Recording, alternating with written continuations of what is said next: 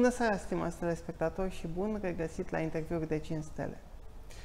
Invitatul meu de astăzi are o profesie la care aproape că toți băieții se gândesc în copilărie, este unul dintre visele copilăriei. Însă foarte puțini ajung să îl pună și în practică și anume să devină pilot uh, de avioane, nu de Formula 1 sau de altceva, pilot de linie mai exact. Alături de mine este Mihai Sturzu. Mulțumesc foarte mult, Mihai, pentru acest Eu mulțumesc pentru invitație.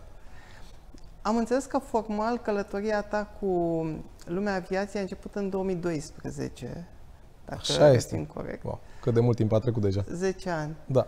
Uh, ai trecut prin muzică, parte dintr-o trupă de muzică foarte celebră, Haikyuu, da. apoi în politică și uh, la un moment dat pe parcurs ai uh, inserat și această zonă cu aviația cu zborul. Ce te-a atras sau cum s-a născut? Uh, cumva eu recunosc că sunt uh, exemplu viu al faptului că în viața asta poți să trăiești fără să muncești. Uh, mai în glumă, mai în serios. Uh, cumva așa a făcut universul că uh, eu începând cu 16 ani, când mi-am făcut trupa de muzică împreună cu Florin, colegul meu de trupă, uh, am reușit să transform hobby-urile, hobby-urile mele în profesii. Și cumva, uite, am ajuns la 43 de ani, bucurându-mă de fiecare zi pe care am petrecut-o într-un plan profesional, muzică, politică și astăzi aviație, uh, fără să simt vreodată faptul că merg la serviciu sau că am un job sau că trebuie să fac ceva. Tot ceea ce am făcut în anii ăștia a fost, fost pentru că mi-am dorit să fac asta. Uh, legat de aviație, uh, în mod specific, nu pot să-mi dau seama, pentru că de ceva timp încoace mi se pare că toți oamenii din jurul meu sunt foarte tineri, ceea ce e un lucru bun. Uh, dar pentru telespectatorii emisiunii tale, uh, trebuie să spun că eu am petrecut primii 10 ani de viață în comunism, înainte de 89, când să ai pașaport și să călătorești ca astăzi, uite că suntem la aeroport și mă uitam acum pe ce avioane sunt pe aici, în orice avion te duci într-un colț al lumii, era ceva imposibil de visat. Adică era ca și când astăzi am vorbit că, uite, Elon Musk a trimis o rachetă, o mașină pe Marte sau ce a trimis el pe Marte, poate într-o zi vom fi și noi pe Marte. Cam așa era și cu noi cu posibilitatea să zburăm vreodată, știi? Cel mult mergeam în țări comuniste de pe lângă noi, Bulgaria... Da, cine putea. Noi la Brașov, eu nu cunoșteam pe nimeni să aibă pașaport sau să pot. Și uite, copilul de 8 ani din mine, care se uita și el pe cer și vedea uh, zilele astea, discuția asta, nu pot să nu râd, cu liniile albe de pe cer, ok, deci copilul din mine care ne venea... Ne poți da o explicație la ele pentru Imediat, că un vă dau. a făcut vă dau. o interpelare oficială? Vă dau, vă dau, eram sigur că vom ajunge la subiectul ăsta. Deci copilul din mine care vedea liniile albe de pe cer, visa și el măcar o dată, nu să fie pilot, că era ceva imposibil de visat pe vremea, să fiu și eu într-un avion, să mă uit și eu cum se vede planeta de sus.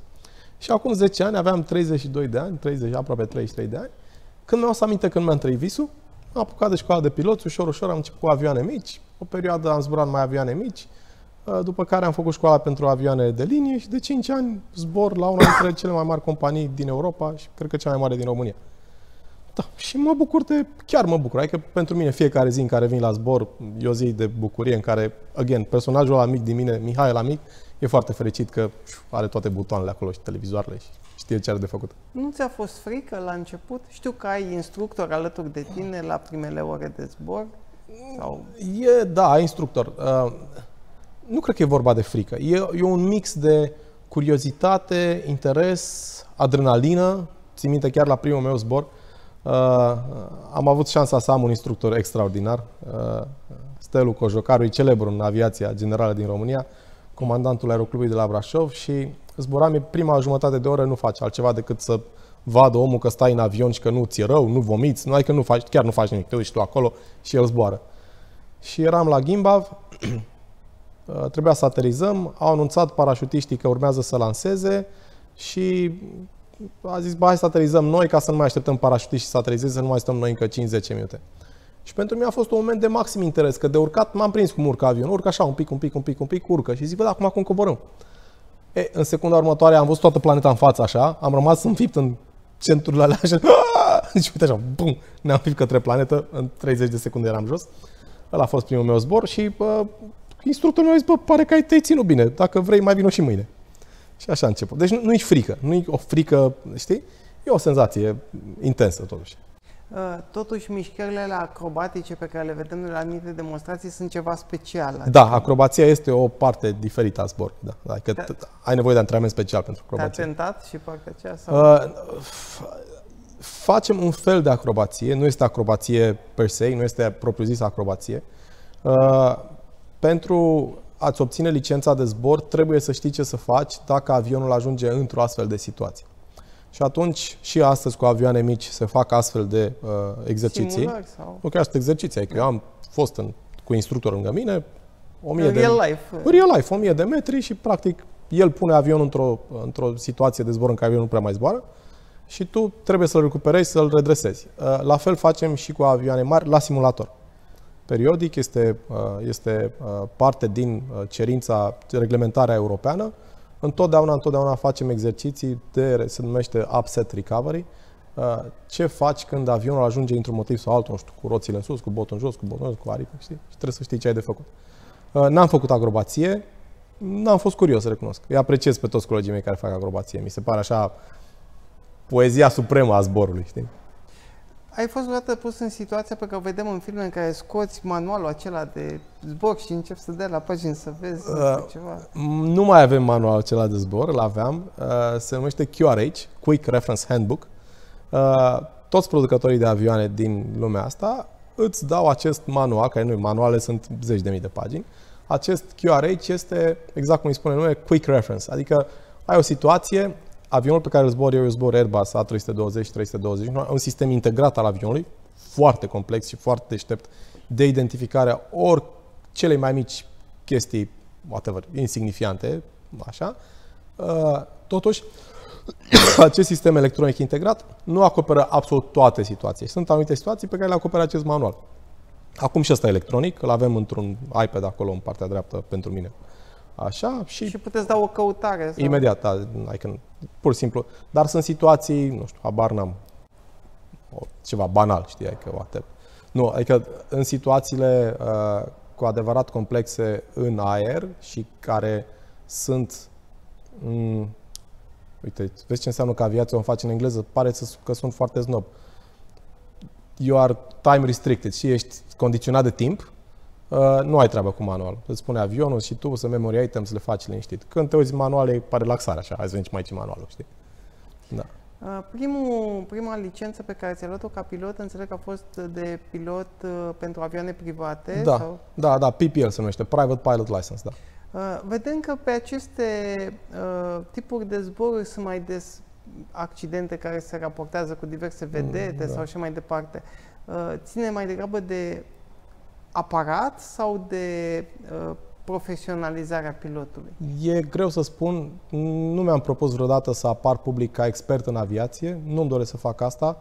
Uh, ce pot să spun sigur, ca și considerent general, este că întotdeauna uh, incidentele și accidentele în aviație nu au singură cauză. Există un concept, uh, se numește teoria găurilor din cașcaval, dacă vrei, chiar așa, Swiss cheese effect, a fost elaborat acum mulți ani și teoria spune așa că pentru a, să ajungi în situația unui incident sau accident, Doamne ferește, înseamnă că mai multe, imaginează că ai o, ai o bucată de Schweizer, da, de uh, Swiss cheese, de cașcaval, da, care are niște găuri. Dacă te uiți prin ea, nu vezi nimic, că e obturată. E, dacă tai felii din această bucată de cașcaval și începi să aliniezi felile astfel încât să se alinieze gaură după gaură după gaură, la un moment dat s-ar putea să întâmple acest lucru. Uh, toată această teorie spune că dacă măcar una dintre felii nu este aliniată și atunci nu poți vedea prin nu se întâmplă nimic. Adică Trebuie să concure mult Exact, factori. și de asta spun că este foarte, foarte greu și de asta orice analiză asupra unui nu putem noi acum să discutăm, da, mă, nu știu, am auzit eu că s-a întâmplat undeva ceva. Întotdeauna este un șir foarte, foarte lung și foarte, foarte complex de mici, mici elemente care adunate au dus poate la ceva mai puțin fericit. Nu aș putea să spun acum care sunt cauzele, așa, exhaustiv, să ne apucăm să fac eu pe deșteptul aici. Nu mi-am dorit niciodată. Ce îți place cel mai mult la această profesie? Totul. Uite, ieri am fost la un aerodrom să mă dau cu un avion din ăsta mic de două locuri. Este... Ai avionul tău? Nu, aș vrea să am.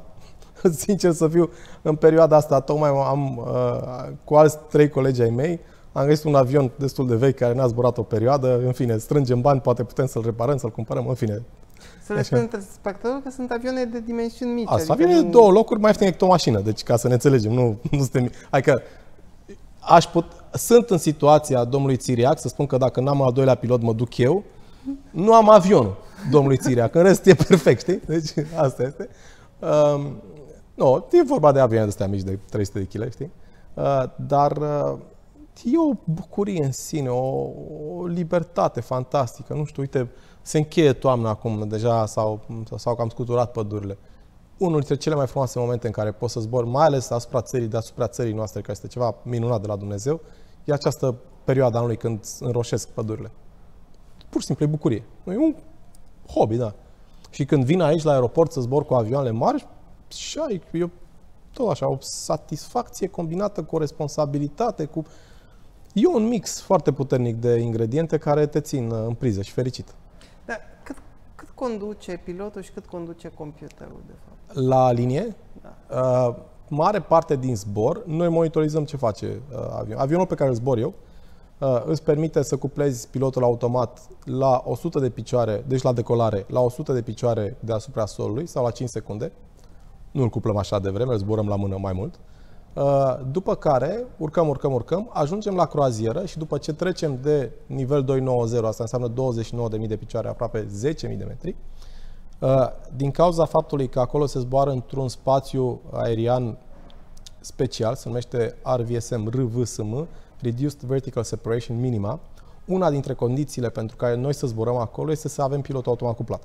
Deci poți să fii tu cât de cel mai mânaci pilot din lumea asta, n-ai ce să cauți acolo pilot automat. Nu ți se permite? Sau? Nu ai voie, da. Deci una dintre condițiile de certificare a avioanelor și a companiilor să zboare în acest spațiu de separare mică, adică uh, noi zburăm, de exemplu, către est, decolăm de la București, zburăm către est, zburăm la nivele pare, 360, 380, 340, 3, asta înseamnă 34, 36, 38 de mii de picioare, de la vest către est zboară la nivele impare. Ca să nu Tre- se... Exact. Și noi trecem unii pe asupra celorlalți, la, celorlalți la uh, separare de 1000 de picioare, care sunt 330 de metri. Și pentru siguranță? Exact, nu are ce să caute uh, niciun fel de input manual acolo.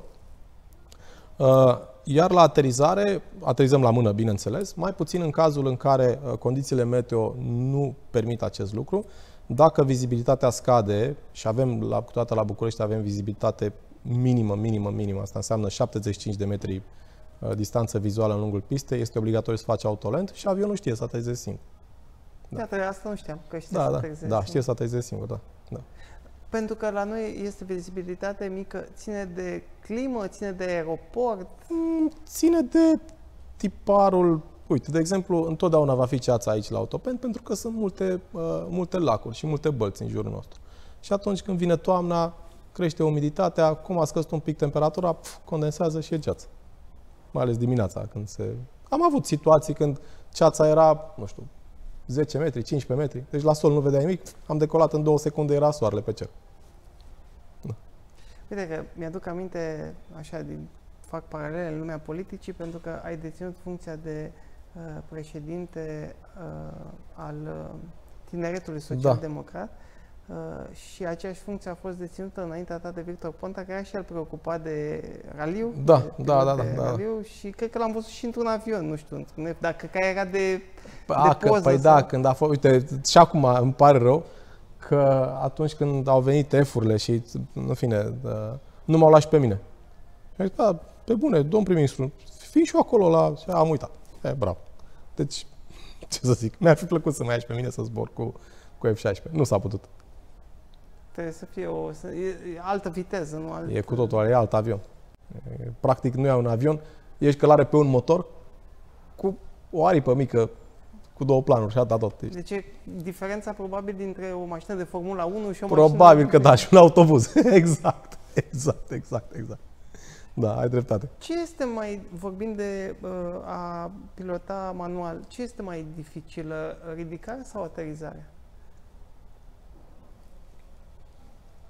Nu știu, ce e mai dificil? Să mergi pe stradă sau să mergi pe trotuar? Habar n Nu știu, la fel. Uite, nu... de exemplu, pe munte, dacă da. vorbim de ascensiune în Himalaya sau da. așa, multe probleme sau accidente se petrec mai degrabă la coborâre decât la urcare. Nu, personal nu văd diferențe. Nu adică nu, nu, da, sunt niște faze ale zborului în care ești 100% concentrat acolo, în care avem niște proceduri foarte simplificate și foarte riguroase. Nimeni nu vorbește cu nimeni despre, ia uite, ce ai mai făcut aseară, dar ce planuri ai mâine. Ne concentrăm la zbor, spurăm, bine, mulțumesc. Uite, am și eu o frustrare. Te rog, Așa, zi. și probabil Da. că mulți oameni au, deși am înțeles că unele linii aeriene au rezolvat cumva această situație. Mai ales dacă ești pe zboruri foarte lungi, Da? că nu poți să-ți folosești telefonul. Ce face telefonul la avion? Foarte bună întrebare și îți mulțumesc din suflet pentru ea. Și îmi doresc tare, tare mult ca mesajul ăsta să ajungă, să ajungă la toată lumea. Uh, Este o chestiune destul de uh, recentă, se studiază din ce în ce mai mult. Îți povesteam că avioanele știu să aterizeze singure, să facă autolent. Uh, Ele au undeva în coada avionului, sub coada, au niște antene care se numesc radioaltimetre. Aceste radioaltimetre îți măsoară cu o acuretețe fantastică distanța avionului față de sol. Și ele permit, nu ai cum să faci autolent fără aceste antene, fără aceste instrumente care să funcționeze perfect. Pentru redundanță sunt două. Fiecare având două elemente. Uh, e, se pare, nu că se pare, în mod sigur, semnalul GSM, mai ales semnalul GSM 5G, afectează aceste echipamente, radioaltimetre. Este esențial ca de fiecare dată când auziți în, tele, în avion, vă rugăm, opriți telefoanele mobile, tablete, să le opriți. Este absolut esențial. Asta este. It is what it is. Și liniile care au permis au creat o- un alt sistem. Nu, nu, nu, e la croazieră. Sunt multe companii care au antene de uh, satelit. Nu ai nicio problemă. La croazieră te con- se conectează. Important este la ridicare și la da, aterizare. da, da, să- da, da, da, da. De radioaltimetre astea nu sunt, funcționează sub 2000, adică sub 1000 de metri. Da. Deci asta e, sunt, e esențial să ne ținem asta închise la decolare și la aterizare. Ce înseamnă viața de pilot, așa ca lifestyle și regim de viață? Față Bună ce întrebare. vedem în filme, nu, pare- nu e ce vedem în filme. Nu e vede- ce vedem în filme. Aviația modernă s-a simplificat foarte mult în sensul că eu sunt foarte mulțumit pentru că uh, eu loc, sunt din Brașov, dar locuiesc în București de ceva timp. Uh, Am baza aici la Otopeni, deci eu zbor din Otopeni și partea bună la felul nostru de zbor este că noi în fiecare dimineață, sau în fine, cum am zburat eu numai dimineața anul ăsta, eu mă duc și mă întorc, mă duc și mă întorc. Nu rămânem pe nicăieri, venim acasă, cel mai scurt zbor pentru noi este uh, Treviso, la 10.35 punem roata jos înapoi în Otopeni, ceea ce e bine. De multe ori îmi sun, uh, îmi sun prietenii care, uh, au un prieten foarte bun care zboară la altă companie, zic, gata, am ajuns, ce faci, ne vedem la o cafea, ce păi abia m-am trezit. Zic, eu m-am și întors de la job, știi? Um, nu știu, n-am zburat long haul, deci n-am zburat, nu știu, peste mări și cer. Cele mai lungi destinații pe care eu le zbor sunt Tenerife, Dubai și Abu Dhabi, dar și de acolo ne întoarcem în fiecare zi. Uh, și cam asta este. Mie îmi place că am prins epoca asta a aviației, mi îmi place acasă, știi? Uh, nu știu cum era Nu acum. e fanul viață prin hoteluri și... Nu, nu, nu, nu stau, de, stau acasă. Mi-e foarte bine. Am avut suficientă viață în hotel cât am avut trupa, mulțumesc. Deci, ce să zic. Făcea, cred că era bine, că făceam multă economie la curent și la apă caldă, acum vezi că era mai mult plecat. Da. Apropo de cariera muzicală, de ce ați abandonat? A ajuns. Ajuns. Am avut o trupă de muzică Păi pop aveați- în aveați foarte România mult succes, una dintre cele timp mai de succes. 18 ani. Și la un moment dat ați zis, gata. Știi cum e? Am avut toți senzația cumva că trupa ne rămăsese mică. Știi? Adică fiecare... Am făcut o trupă la 16 ani totuși. Și ne-am oprit la 34.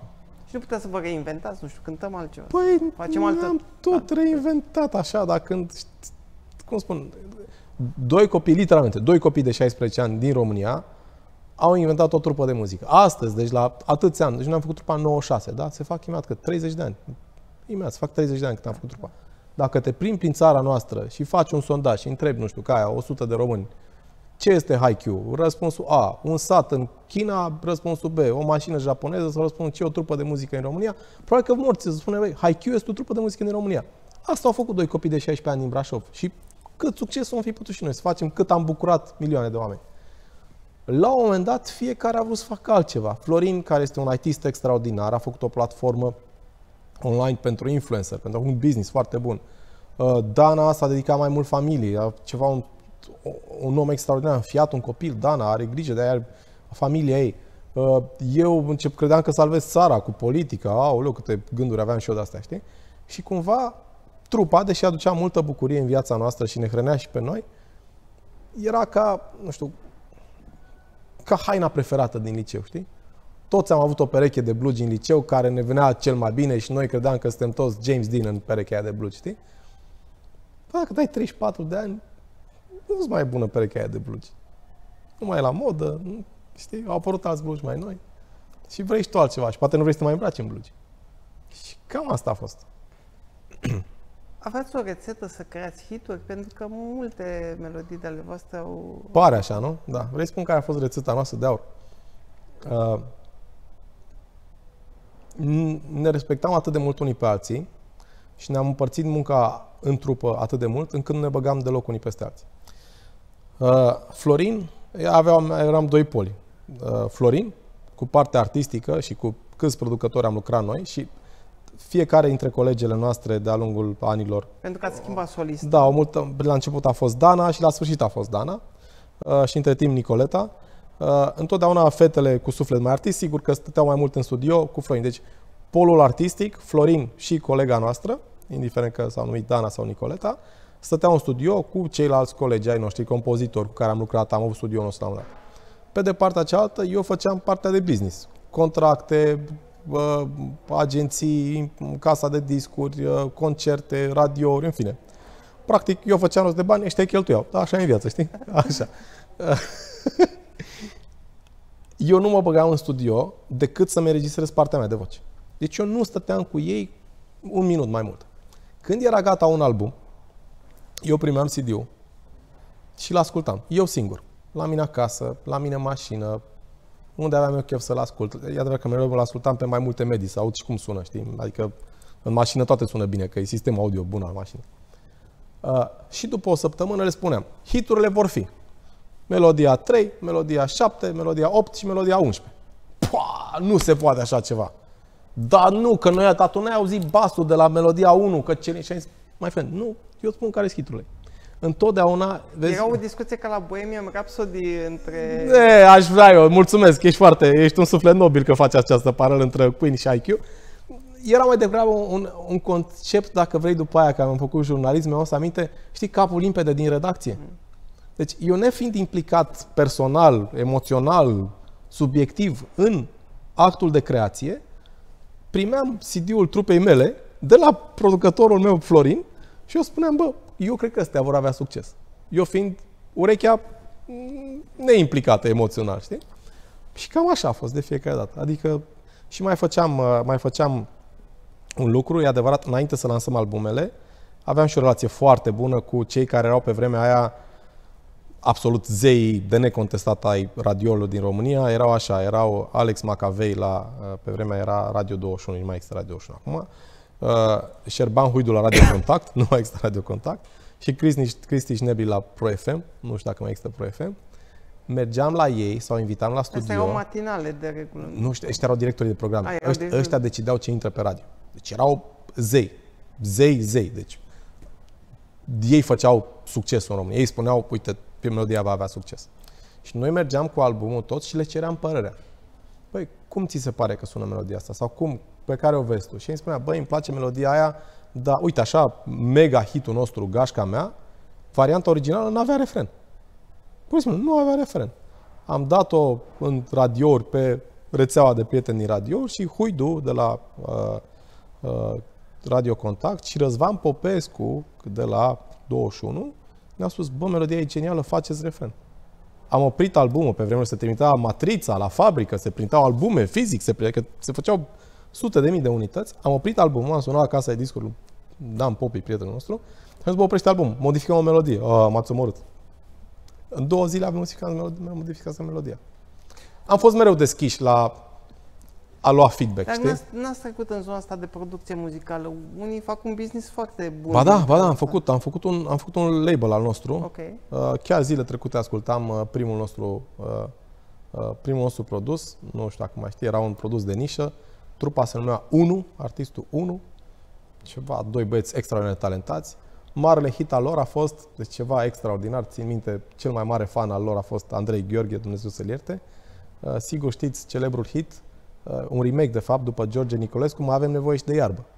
Deci a fost un circul lumii cu scandalul, cu iarbă, cu nu știu ce, cu ăștia, cu mai avem nevoie și de iarbă și Da, ceva. se putea, e Deci un o- joc de Da, cuvinte. o melodie din anii 70 din România, știi? Da. Probabil că un imn Și mai eco. funcționează acum? că- Nu, nu, ne-am oprit de mult. Nu, nu, mai avem, nu mai avem nicio legătură cu muzica. Nu. Nu. Dar am avut, am făcut o trupă de, de fete, TNT, fetele cu ani de liceu. Am făcut mult, mult succes am făcut și producție. Se câștigă bine din showbiz românesc? Acum cred că da. Deci acum mai, din ce mai vorbesc și eu cu foștii mei prieteni și foștii mei colaboratori, cred că da. Noi nu, nu mă plâng. Adică am avut Dar o s-a viață schimbat bună. modelul de business sau care? Nu știu, uite, de exemplu, pe vremea noastră nu exista online-ul. Adică YouTube-ul era așa ceva, pf, nu conta, am pus pe YouTube, pe și ce dacă. Acum se poate monetiza dacă ai Da, vizionare. da, da, da. Deci mi-e foarte greu să spun acum ce înseamnă Instagram, ce înseamnă influencing-ul ăsta, toți sunt artiști, toți își spun. Nu ne era Da, rușine și să... cred că mulți câștigă mai degrabă din statutul de influencer decât din muzica propriu-zisă. Au Cred, tot felul de contracte cred, de da. publicitate, de PR. Noi niciodată n-am spus lucruri despre viața noastră personală. Nu ne-ai văzut pe noi vreodată la televizor, sunt la masă, sunt... adică nu exista conceptul ăsta. Adică noi mergeam, uite, avem un cântec nou, vi prezentăm, sperăm să vă placă, ne Dar am vedem... văzut niște mii de oameni așeza, așezați în jurul vostru să vă asculte. O, spre zeci de mii. Îi Spun ce am văzut cu ochii da, mei. da, da, da, da, da, da, da, da. Am avut mii de concerte, am avut în țara asta. Da. A fost foarte bine. Adică noi, pentru noi a fost bucurie fantastică. Nu ne-am îmbogățit, nu suntem niciunul milionar, cel puțin nu din muzică. Uh, nici eu n-am Nici nici din vremurile. politică. Nu, Doamne ferește. Deci, mai, eu mai sărac în politică n-am fost în viața mea. Eu îți dau cuvântul. Eu aveam 5500 de lei salariu. Deci eu în politică mi-am cheltuit toate economiile mele. Aia a fost. Să știi că am și eu un prieten care a fost în politică, era ceva deputat, cred. Da, deputat. Da. Uh, l-am cunoscut într-un context educațional, am făcut Ok. un curs împreună. Uh, și la un moment dat s-a lăsat și a intrat în business și zicea, băi, bă, las că m-am, m-am săturat de politică să nu mai aud, că mi-am cheltuit toți banii, la fel, Da. că mai sărac ca în politică. Era cinstit și Păi te duci toată, da, toată ziua, bună ziua, mai ales că mi-au dat organizația de tinere, toată ziua eram în țară, pe benzina mea, pe mașina mea, pe toate alea. Aia a fost. A fost o Dar experiență era bună. și Gloria, e președintele TSD. Da, ce mare glorie, ce să zic. Ce glorie. Nici o glorie. Uite, o întrebare sensibilă, rog. răspuns la ea cum vrei. Um, cât de mult din politica unui partid o face liderul sau partidul și în ce măsură există influențe exterioare? Că se tot discută. Câtă putere ai ca lider, domne, vreau să fac chestia asta și o fac. Ăsta a fost motivul pentru care eu am decis să mă retrag din politică. Răspunsul la această întrebare, în ziua în care răspunsul la această întrebare mi-a devenit foarte clar, am zis, bine, vă mulțumesc. Ok. Nu mai insist pe, pe subiect. Mulțumim foarte Vă mult pentru mulțumesc. răspuns. Um, mergem, mai, mergem mai departe. Um, pentru cineva care aspiră Da. uh, să uh, fie pilot sau steward, ac- acum există și băieți, nu? Stewards. Da, cum să nu? Există, compania noastră cred că este compania care promovează cel mai mult femeile pilot. Avem o groază de, uh, pe de altă parte, uh, băieți, cabin crew, e diversitatea e la ea acasă. La ea acasă. Um, ce le pot spune pe partea de selling proposition, deci Da. lucruri Da, frumoase da, da. și ce le pot spune totuși, băi, țineți cont că realitățile din teren sunt și, au și Mm. niște dezavantaje. Nu m-aș apuca de aviație. Deci aviația este atât de grea încât este frumoasă doar dacă o iubești. Deci dacă tu cu adevărat iubești faptul că ești în aer, trăiești pentru momentul ăla în care pui motoarele în plin și începi să plutești literalmente, merită orice sacrificiu. Dacă te gândești că e un job, că salariile nu rele, că ai colegi mișto și tineri, că vezi Ajungi lumea, prin că, diverse locuri. da, că ai acces la bilete ieftine de avion, lasă-te. Deci, aviația, eu o propun doar celor pasionați. Cred că sunt și oameni care o fac din restul uh, motivelor, dar uh, pentru mine, eu n-aș putea să fac aviație as a job. Să zic, băi, mă trezesc și mă duc la serviciu. Vorba unui, puneam niște poze, pun și eu poze pe Instagram, pe unde mai merg, nu știu ce, ce văd. Și unul dintre cei mai buni prieteni mei de acasă, la Brașov, ce bă, cât ai muncit săptămâna asta, mai poți? Și zic, mai friend, tu n-ai înțeles. Eu am un hobby pe care nu mi-l permit. Deci, literalmente, nu-mi permit să-mi cumpăr un avion de 100 de milioane de euro, că n-am banii ăștia.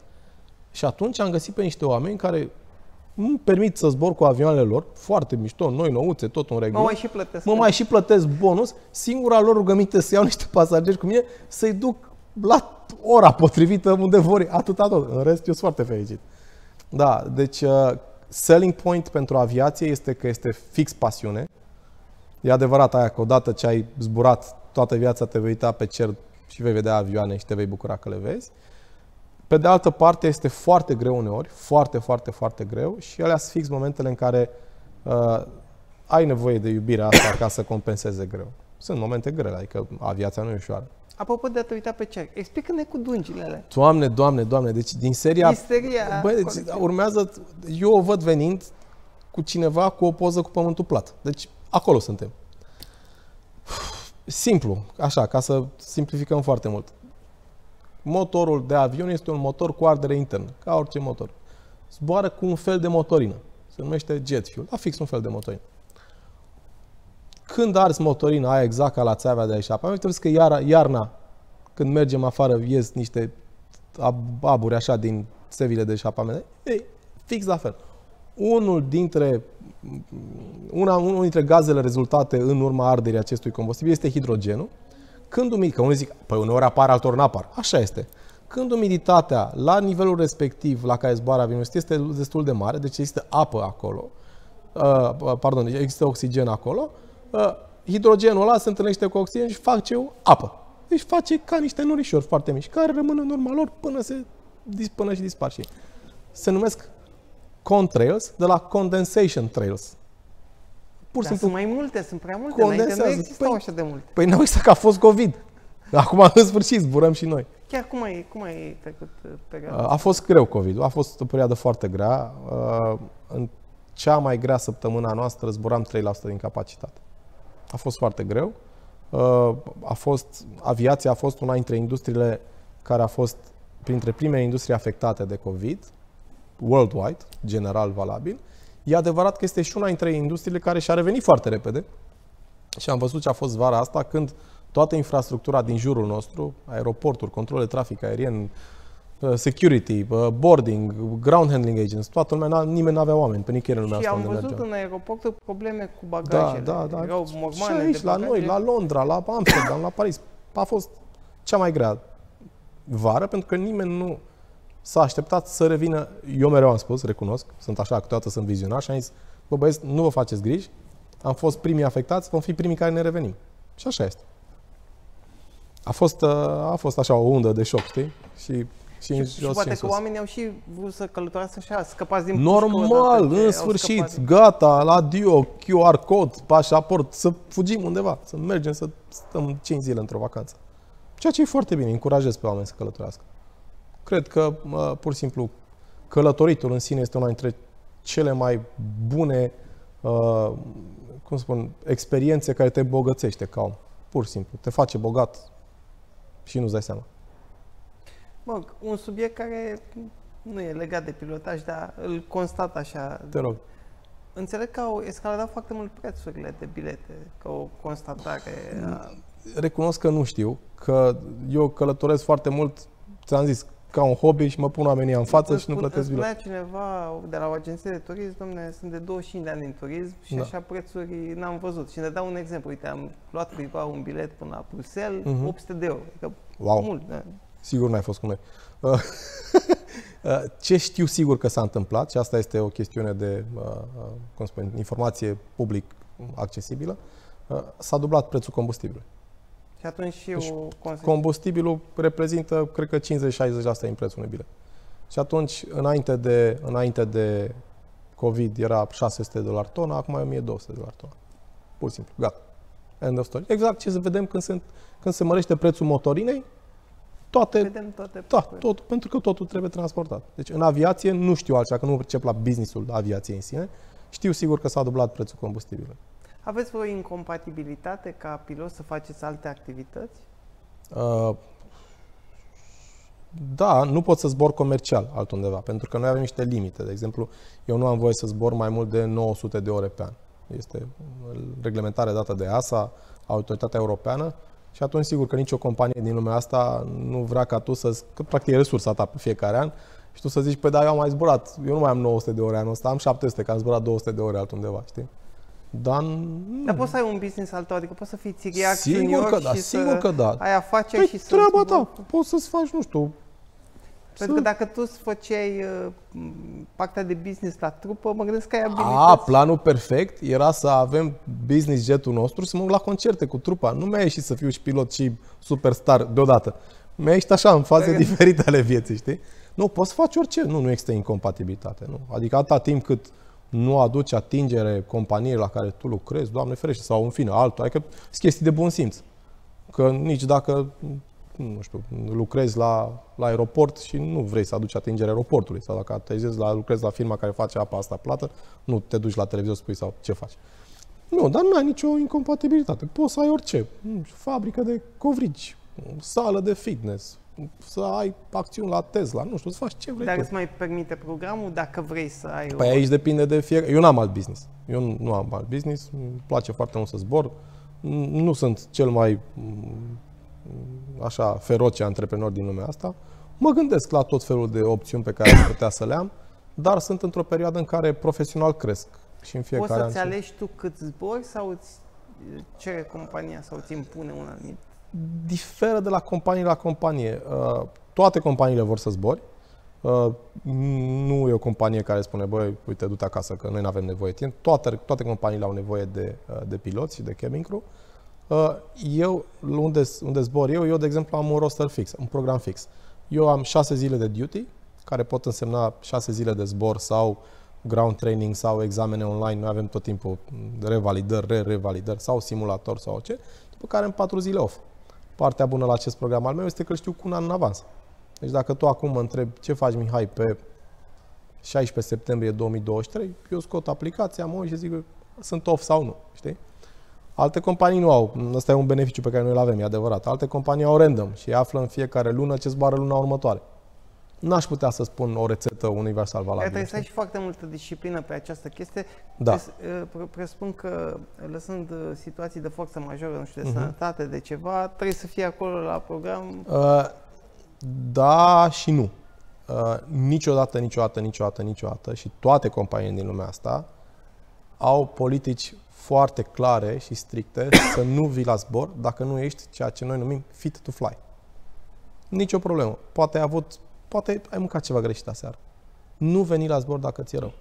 Uh, poate ai făcut febră. Nu veni la zbor dacă ți-e Și companiile au contingency plan. Sigur că da, sigur că da. Deci în momentul în care tu te prezinți la check-in, este declarația pe proprie răspunde faptul că tu ai făcut check-in, că tu ești, chiar așa este, well rested, bine odihnit și fit to fly nu e, nu, nu e panică, adică e o chestie foarte serioasă. Nu vii așa la zbor, bă, mi-e un pic rău, dar vedem noi ce facem. Nici gând. Ai văzut Top Gun? Da, no, normal. Foarte mult mi-a plăcut. Ce e Hollywood și ce e realitate în ce A, Nu vreau să fiu critic acum, dar au fost două chestii care n-au, așa, stai să mă aminte care au fost. Uh, un concept, Coffin Corner. Uh, la un moment dat, nu știu dacă ții minte, scenariul Top Gun presupunea că eu intră într-o vale și după aia ies din valea aia, nu știu ce, ies, ies, ies din valea da, aia și el a spus, sau traducerea noastră a fost că în momentul în care intri în bătaia ce aveau aia, rachete antiere, intri în Coffin Corner. Coffin Corner este un concept din aviație. Exact, Coffin Corner înseamnă colțul coșciugului, da, doamne frește. Nu se referă la faptul că cineva te poate împușca pentru că intri în raza lor de acțiune se referă la faptul că uh, la un moment dat, orice avion din lumea asta, indiferent că este avion militar sau avion ultra ușor sau planor, uh, pe măsură ce crește altitudinea, aerul devine din ce în ce mai puțin dens. Practic, ai nevoie din ce în ce mai mare viteză ca să obții aceeași portanță. Nu o să intru în chestii prea tehnice, în formula portanței viteza la pătrat. Și atunci, tu urci, urci, urci, urci, urci, urci, urci, urci. Și pe măsură ce tu urci, viteza ta maximă pe care o suportă fizic fuselajul începe să te limiteze, adică tu nu poți să accelerezi la nesfârșit, că ajungi în viteze supersonice, îți rupe aripile, orice avion are o limitare, dar pe măsură ce urci și viteza la care tu nu mai poți să zbori pentru că aerul foarte fin, ceea ce se numește stall speed, viteza de angajare, adică aerul nu mai este suficient de dens să te țină în balans, se, măre, se mă, mărește și ea. Deci, viteza maximă scade, viteza minimă se mărește și la un moment ajungi într-un punct în care tu ai o viteză anume, dacă accelerezi mai tare, ai engine overspeed, dacă decelerezi, intri în stall speed. Ăla este coughing corner. Coughing corner este, dacă vrei, o limitare aerodinamică. Cumva a naturii. Nu este ceea ce au descris ei în Top Gun ca fiind, aulă, dacă intri în bătaia puștii, ești în coughing corner. Nu avea cum să fie coffin corner la rasul muntelui cu un avion supersonic. Și zborul la atât de jos e... e... Da, ăla se, ei, ei îl fac, da, da, se poate face. Ăla nu e problemă. Și mai era o chestie, nu mai țin minte, ceva, ceva de comunicații, ceea ce a fost super non-standard. Mă mir că Tom Cruise este pilot adevărat, dar probabil că au vrut să dea mai multă credibilitate scenariul. Cred că un take-off clearance sau ceva, nu mai țin minte. Avionul are pilot și copilot sau sunt doi piloți? Cum e? Uh, avem în aviația modernă, unde am rămas doi în cockpit, pe vremuri erau cinci. Era comandant, first officer, second officer, uh, uh navigator și uh, radiotelefonist. Ușor, ușor, toate sistemele astea au fost integrate în avion și acum avem un comandant care stă pe locul din stânga și un first officer care stă pe locul din dreapta. Uh, din punct de vedere al zborului, ambii sunt calificați să zboare exact la fel. Deci ce poate să facă unul, poate să facă și celălalt. Din punct de vedere al experienței, întotdeauna comandantul are mai multă experiență și din punct de vedere al responsabilității, responsabilitatea finală revine asupra comandantului. Sigur, discutăm tot timpul, nu știu ce, tot timpul, tot timpul comandantul are uh, uh răspunderea finală pentru orice decizie se ia în, în avionul respectiv. Din punct de vedere al zborului, unul este pilot flying, adică unul operează avionul, îl zboară, că zboară manual sau folosind pilotul automat, el zboară și navighează, adică el dă inputuri avionului stânga, dreapta, sus, jos. Celălalt pilot, care uh, este pilot monitoring, acum se numește, monitorizează ce face pilot flying, pentru că poate îți spune turnul de control, nu știu, să cobori la 2500 de picioare și să sează 3500 de picioare. Poate auzi greșit. Și pilot monitoring monitorizează și face comunicațiile. Uh, în aviația modernă și ce zburăm noi, aceste roluri pilot flying, pilot uh, monitoring le alternăm. De exemplu, să spun că mă duc, nu știu, am fost la Malaga, la briefing, împreună cu comandantul, zic, ok, mă întreabă, tu ce vrei să zbori? Bă, zbor eu la Malaga. Adică la Malaga sunt eu pilot flying și el pilot monitoring, la întoarce la fel. Easy peasy. Această echipă este sudată, face echipă cu cineva sau se schimbă? Uh, de... Depinde cât de mare e compania.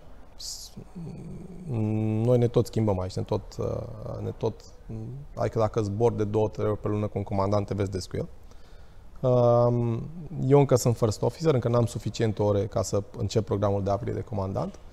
Uh, dar am învățat în aviație un concept pe care mi-aș fi dorit să-l știu de când eram mic. Se numește CRM. Știu că în economia asta înseamnă altceva, nu știu, client, ceva CRM. În aviație înseamnă Crew Resource Management. Acest concept de CRM este în aviație absolut esențial și, practic, el te învață sau aplicând tehnicile uh, corecte de CRM, te învață cum să fii o echipă care funcționează aproape perfect. Uh, foarte interesant. Eu aș dedica aceste cursuri de CRM cam prin clasa 7-8 aș începe să le fac oricine. Pentru că poți aplica în orice sunt, business, în sunt, orice organizație. Sunt principii universal valabile, sunt principii care se referă la felul în care noi funcționăm ca oameni.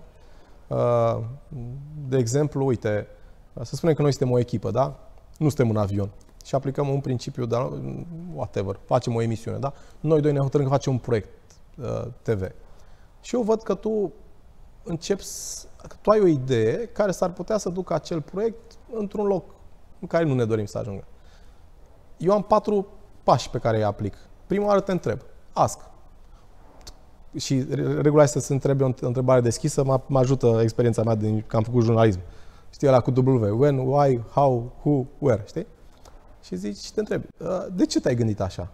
Pentru că punând ideea, întrebarea asta, tu zici, bă, poate vrea asta să mă întrebe ceva. Și tu zici, nu, nu, că așa facem noi proiectul ăsta, emisiune, că eu m-am gândit, ok. După care, faza a este să sugerezi. Uite, eu îți sugerez să încercăm altcum. Și tu zici, poate asta că îmi sugerează, hai să mă gândesc. Ok, tu zici, nu, nu, acolo. A treia fază este să insist. Uite, eu cred că nu o să ne primească cu camerele dacă tu vrei să filmăm nu știu unde, sub apă, se vor strica toate camerele și eu insist să nu facem asta. Și tu zici, nu, nu, nu, că noi filmăm sub apă, nicio problemă, mergem cu camerele, că am vorbit eu cu băieții. Fix înainte să intri în apă, eu ai take over control și zic cu toată prietenia, ne oprim aici, nu băgăm camerele sub apă, că le stricăm și stricăm jumate din echipamentele. Și tu zici, băi, ai dreptate, uite, nu știu. Asta e un principiu foarte bun de CRM pe care poți să-l aplici în viața de zi cu zi.